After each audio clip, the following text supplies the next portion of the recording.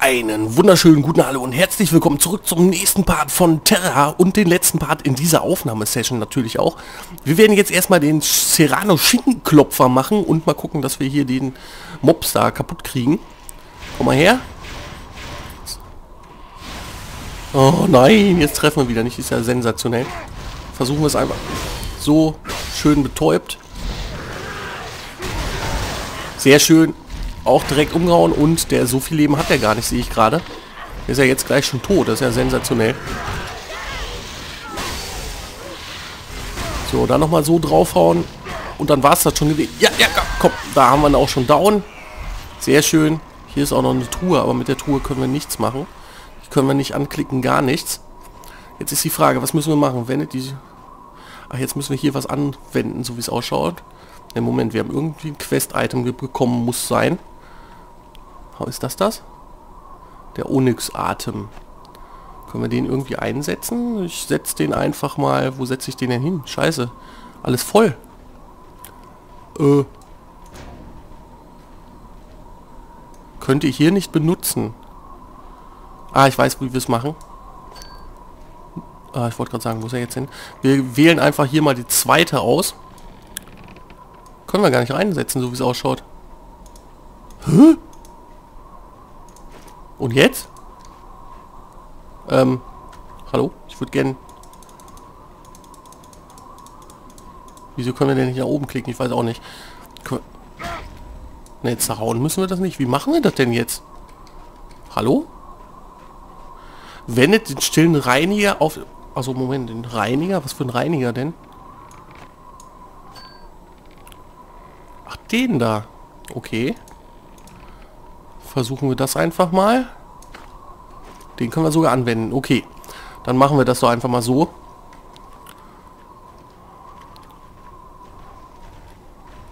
War gar nicht der Atem, den wir dafür brauchten. So, da haben wir Nummer 1 schon mal.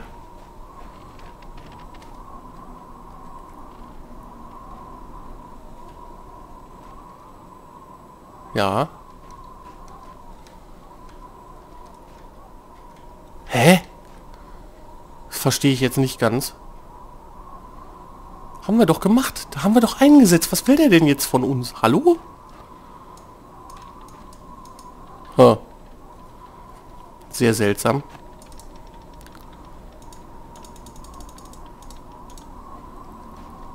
Moment, wendet den stillen Reiniger auf das auf den Onyx-Arten an, um mit dem Energie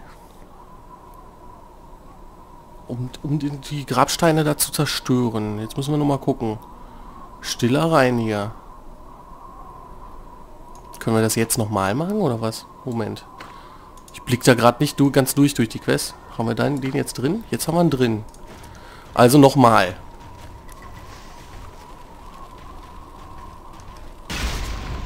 Ah, okay, jetzt, ja, jetzt habe ich es verstanden. Jetzt habe ich verstanden. Wir mussten erstmal de, den äh, Reiniger mit dem äh, Atem, den wir von dem Mobstar bekommen haben, akt, äh, aktivieren oder kombinieren. Und jetzt können wir auch die Steine damit zerstören. Na, das erklärt natürlich einiges. So, das ist der dritte. Und da haben wir den vierten. Sehr schön. Das müssen wir jetzt machen. Jetzt müssen wir erstmal das Ding da wieder rausnehmen. Und die Skills wieder anwählen. Jetzt müssen wir da unten irgendwas tun. Das kommt mir alles so unbekannt vor, aber richtig unbekannt gerade. Was haben wir denn hier? F interagieren. Dieser Grabstein wurde von der Geliebten des Verstorbenen graviert. Die schwarze Magie schwindet findet Frieden. Sprecht mit... Was, was, was, was, was? Sprecht mit Ona. Da haben wir sie. Sprecht mit... Lass mich in Ruhe. Geh weiter. So. Danke. Ohne eure Hilfe hätte ich nicht hierher zurückkehren können. Was meint ihr?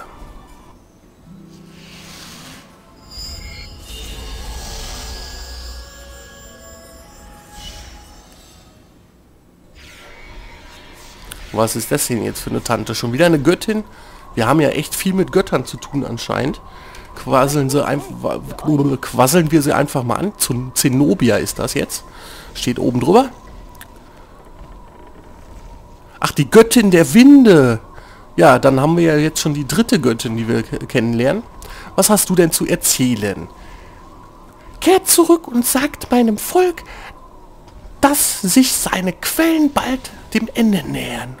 Äh, dass sich seine Qualen bald dem Ende nähern. Ich werde ihnen helfen, die Untoten von hier zu vertreiben. Was euch betrifft, Crazy Bane, so gebe ich Zenobia, Göttin der Winde, euch meinen Segen. Mögen Arun und Shara euren Weg sicher ert erträumen. Es ist mir eine Ehre. Ich danke euch. Ah, jetzt müssen wir also doch wieder zurück. Soll mir recht sein, dann gehen wir wieder zurück. Haben wir also jetzt auch die Göttin der Winde, Zenobia, kennengelernt. Ich dachte, Zenobia wäre irgendwie was Böses, was mit Tulsa zu, tun hätte. Aber gut, so haben wir halt jetzt schon den zweiten Segen einer Göttin. Die Göttin der Jagd haben wir ja jetzt mittlerweile auch schon kennengelernt. Die hat ja die Prüfung des Jägers für uns bereitgehalten. Wo ich erst gedacht habe, oh Gott, oh Gott, da war irgendwie, war, war, war das das Riesen-Einhorn?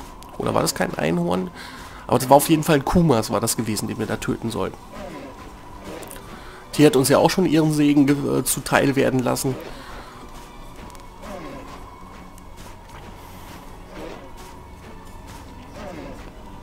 Dann hatten wir ja schon ziemlich zum Anfang des Let's Plays mit der Göttin Velik zu tun. Aus Velika, halt die Schutzgöttin, glaube ich, ist das gewesen. Und jetzt sie hier. Ja, schauen wir einfach mal, was uns jetzt als nächstes erwartet. Was wir machen müssen. Ich glaube, hier ist auf jeden Fall Ende. Mich stört zwar ein bisschen, dass wir jetzt hier wieder ins Lager zurück müssen. Da hätten wir das, das ja doch dann von Anfang an schon machen können. Die dicke Mobstante da platt machen.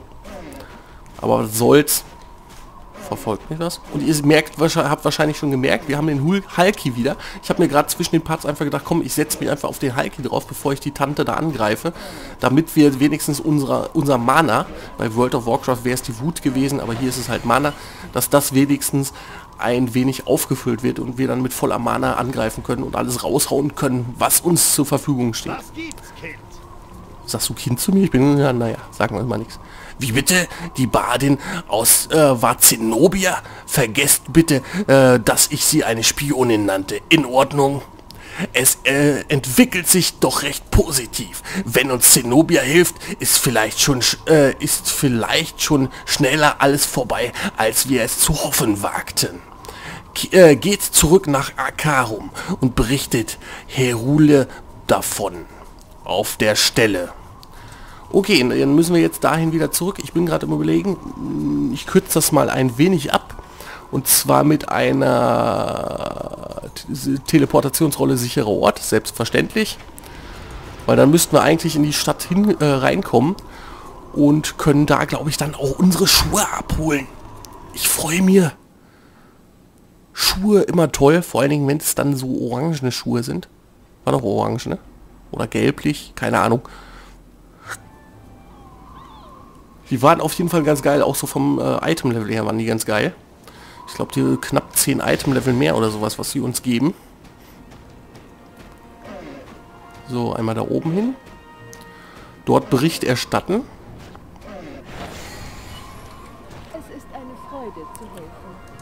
Ja, für mich auch. Oh, und da gibt es sogar die Schuhe. Sehr schön. Göttliches Eingreifen? Was? Nun, ich glaube da, ich glaube daran. Vielleicht singen die Baden einmal Lieder über euch. Bis dahin habe ich hier eine Kleinigkeit für euch. Für den, für, äh, von der Föderation und von uns. Ihr habt es euch verdient. Ich habe gerne geholfen. Habe ich das gerade richtig gesehen? Haben wir da 900.000 Erfahrungspunkte für bekommen? Waren das jetzt echt 900 Erfahrungs, äh, 900.000 Erfahrungspunkte? Okay. Dann schauen wir uns doch einfach mal die Schuhe an. Erstmal hier ein bisschen sortieren. Da müssten das die Schuhe sein. Genau, da sehen wir es. Super geile Schuhe. Ja, okay, nicht ganz 10 Punkte, sind 8 Punkte, die wir zusätzlich an Item-Level bekommen. Aber Verteidigung wesentlich besser, Ge äh, Gleichgewicht besser und Bewegung auf jeden Fall auch besser. Anziehen Sehr schön, da haben wir sie anpassen. Die, passt das denn jetzt zum... Hallo? Ich wollte die Karte nicht ziehen. Passt das denn jetzt zum Rest überhaupt? Müssten wir eigentlich mal kurz gucken. Doch, die Schuhe passen sogar zum Rest des Outfits. Wie geil. Das ist richtig geil. So, und jetzt müssen wir noch mal ins Questlog gucken. Was haben wir denn jetzt als nächstes vor uns? Das haben wir abgeschlossen, haben wir abgeschlossen. Spuren der Götter. Oh, Spuren der Götter haben wir jetzt komplett durch, so wie es ausschaut. Wir können also mit der anderen Quest in Alamantaya weitermachen. Der Verräter von Akarum. Das ist... Oh, da gibt es sogar Handschuhe für uns. Das ist auch geil. Aber... Moment, was habe ich denn jetzt im Moment ausgerüstet? Handeln nicht möglich? Ich muss gerade mal eben kurz gucken. Loyalistengriff wäre das, was wir kriegen. Also das auf der linken Seite. Ist aber auch besser. Das ist ganz gut. Dann kriegen wir da auch schöne neue Handschuhe. Und ich würde mal sagen, wir gehen jetzt einfach mal... Fliegen wir jetzt noch nach allem... Moment, wo sind denn die Quests? Da oben waren noch die Quests, oder nicht? Da sind noch zwei Quests zu machen. Ich glaube, die nehmen wir uns auf jeden Fall mal an. Gucken wir mal, was die von uns will. Ein fauler Apfel.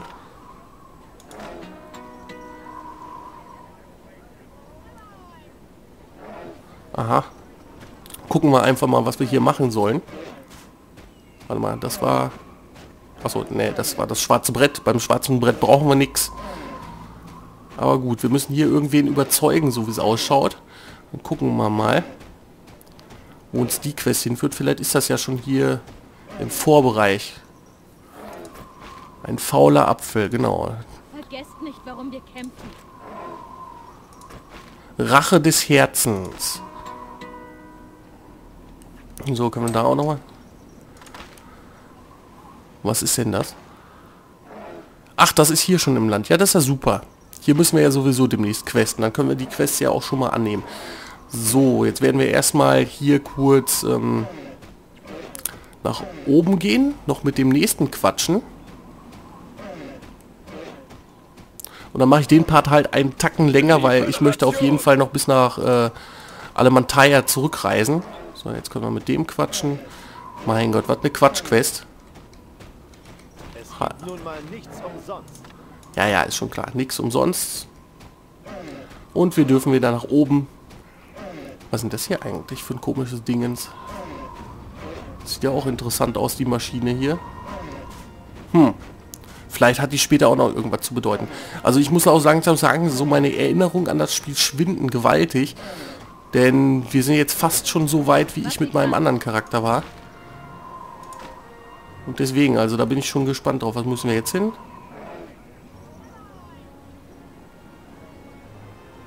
Äh, wo soll das sein? Ach was, wieder oben im nächsten Land oder was? Hm. Naja, was soll's. Wir werden jetzt erstmal Richtung Flugpunkt und von da aus fliegen wir dann nach Alamantaya, weil wir müssen ja hier sowieso hin wieder zurück und die ähm, Kathedrale dann betreten, wo das, äh, wo die Krypta des Nekromanten drin ist. Von daher ist das kein großer Umweg, wenn wir da jetzt erst hinfliegen. Und dann können wir ja hinterher immer noch wieder die anderen Quests abgeben. So, hier müsste irgendwo der Flugmeister sein. Der ist auch, genau da unten steht er schon. Da ist er schon, dieser Kleine mit seinem lustigen Helmchen, dem Pegasus-Helmchen. Äh, nach Alemantaya, genau. Zack, auf geht's. Und wenn wir dann beim nächsten, in der nächsten Aufnahmesession hier in der Stadt wieder zurück sind, werde ich auch erstmal beim Spezialwarenhändler, ich hoffe nur, der ist aktiv, weil manche Händler müssen von Gilden aktiviert werden, denn das ist ja hier dieses Gildenwahlsystem, wo dann die Gilden äh, die Kontrolle über einzelne Gebiete haben. Und manchmal hat man halt das Pech, dass diese Spezialhändler von den einzelnen Gilden, die da gerade äh, an der Macht sind, nicht äh, aktiv sind, so dass man sich da die Sachen nicht kaufen kann. Nur wie gesagt, ich dir sollte hoffentlich aktiv sein, damit wir dann für die Instanz ähm, die Schriftrollen kaufen können, für den Fall, dass wir da dann in der Random-Gruppe irgendwann mal sterben sollten, dass wir da auch wieder zurück reinkommen. Irgendwie schade, dass es jetzt schon vorbei ist, weil ich würde gerne noch weitermachen. Allerdings äh, habe ich da einfach keine Zeit zu.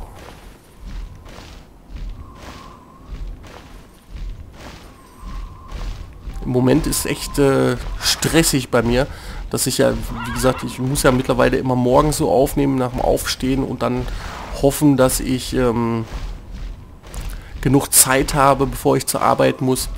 Und da ich jetzt halt noch ein neues Projekt wieder anfangen möchte und auch euch dann veröffentlichen möchte direkt, muss ich mich da ein bisschen kürzer fassen mit den Aufnahmesessions. Aber so geht es ja auch. Für zehn Tage wieder ein bisschen was, dann kann ich nächste Woche einmal in der Woche so ein paar Fünfer-Part von Terra ist gar nicht schlecht. Könnte ich eigentlich machen, zumindest weil ich Frühschicht habe. Fünfer-Part Terra, Fünfer-Part Defiance, ein Fünfer-Part von World of Warcraft und ein Fünfer-Part von Might and Magic 10.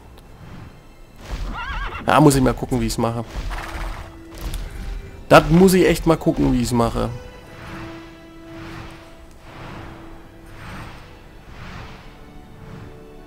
So, auf jeden Fall gucke ich jetzt noch mal kurz bei P nach, dass wir uns den Spieler auch mal angucken. Ja, wir haben jetzt äh, Krass, was ist das denn? Wir haben alles schon orange Klamotten. Bis auf die zwei Ohrringe und die zwei Ringe.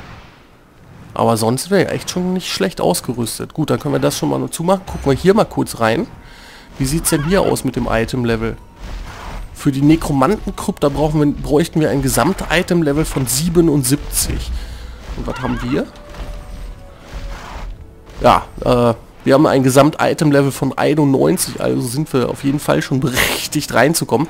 Das ist nämlich bei Terra etwas anders wie bei World of Warcraft.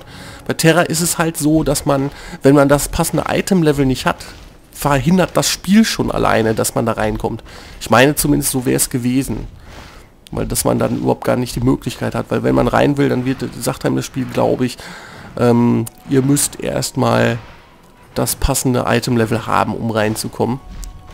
Ich, ich gehe mal schwer davon aus, dass das da so das Spiel dann auch ein bisschen bestimmt, ob man, wie leicht man so durch die Instanz durchkommt oder so dergleichen. Also so könnte ich es mir zumindest vorstellen. So. Dann können wir jetzt da und dann müssten wir gleich irgendwo ins Hauptquartier der von Alemantaya reinkommen. Ist das hier? Ey, dass, dass der Halki da ständig an der, äh, da sitzen bleibt, ne? Ich helfe gern. Quatschen wir damit? Ah, der ist zum Teleportieren, der war nicht, ne? Doch, der auch. Gut, liebe Freunde, ich würde an dieser Stelle sagen, bevor wir hier durchgehen, mache ich dann erstmal den Cut und beim nächsten Part treffen wir uns dann hier in Alemantaya wieder und werden mal gucken, was die Anführerin von Alemantaya uns zu berichten hat und wo es mit unserer großen Reise weitergeht. Bis dahin wünsche ich euch auf jeden Fall alles Gute. Ich hoffe, ihr hattet Spaß bis hierhin und bin für heute raus. Ciao!